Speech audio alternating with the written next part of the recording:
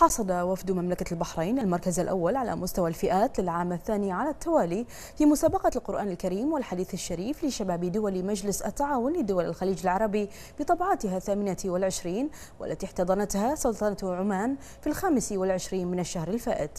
عرض أوفى في سياق تقرير الزميل محمد الرشيدات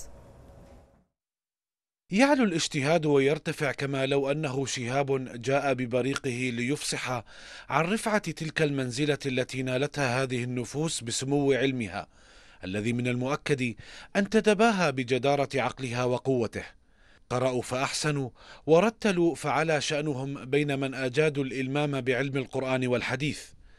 غير مشككين في قدرتهم على احتكار المراتب الأولى من مسابقة القرآن الكريم والحديث لشباب دول مجلس التعاون بنسختها الثامنة والعشرين. ما كان متوقعا بانت تفاصيله واضحة أمام العيان. إنجاز سجل في أرض مجان أرض سلطنة عمان التي كانت شاهدة على تربع شباب البحرين لسدة المراكز المتقدمة في المسابقة. شباب برعوا في أحسن قارئ للقرآن وأجمل صوت في ترتيله. وأكثر من حفظ الأحاديث وذكر من أخرجها وصححها. وزارة شؤون الشباب والرياضة وزارة الشؤون الإسلامية تشجع الطلاب ومراكز التحفيظ عشان يعني يشدون على الطلاب يحفظون ويتمكنون من حفظ القرآن الكريم. وهذه الحمد لله يعني هذه توجيهات الدين الإسلامي يعني. وهذه من واجبنا ونرفع اسم بلدنا. يعني لا شك البحرين معروفة بطيبة أهلها. لازم بعد الطيبة تكون في الدين بعد. يكونون المراكز الأولى إن شاء الله. لقاء يعني قد يكون اجتهاد منا وحرصنا على حفظ كتاب الله سبحانه وتعالى وعلى على الدراية بسنة النبي صلى الله عليه وسلم.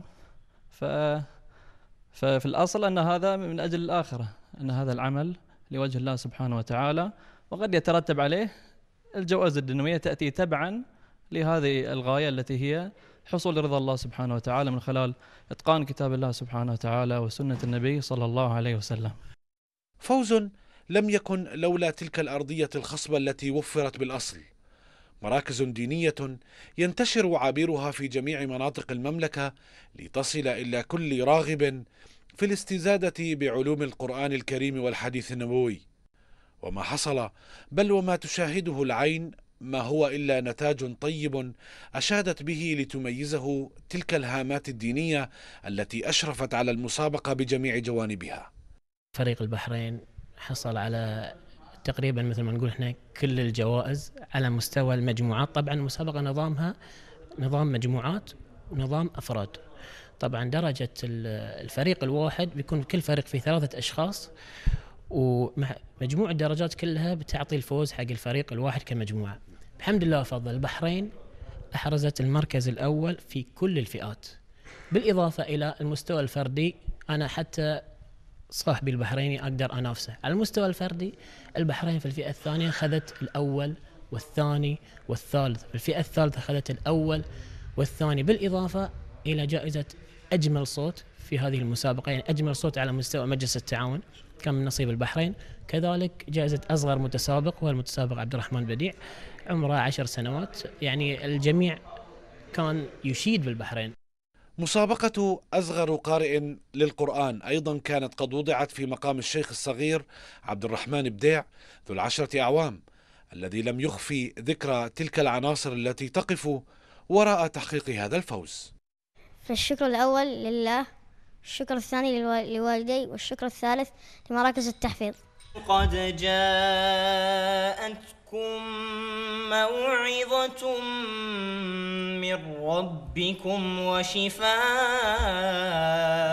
لما في الصدور. إن هذا القرآن يهدي للتي هي أقوم ويبشر المؤمنين الذين يعملون الصالحات أن لهم أجرا كبيرا. صدق الله العظيم. آية من الذكر الحكيم تؤكد على ما أفلحت بالإقدام عليه حناجر أبدعت في ترتيل كتاب الله حق تلاوته. وبما امتازت به عقولها من إلمام متقن لعلوم القرآن والحديث ليوضع الفوز الدنيوي في مقامهم مدركين في ذات الوقت نصيبهم من فلاح الآخرة ونعيمها. لتلفزيون البحرين محمد رشيدات.